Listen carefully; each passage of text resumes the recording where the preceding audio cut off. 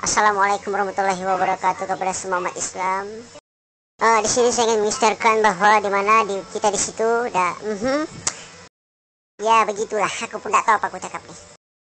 Yang sebenarnya uh, kamu di mana sekarang? Soalan bodoh. Oke lah guys semua, aku mau tidur.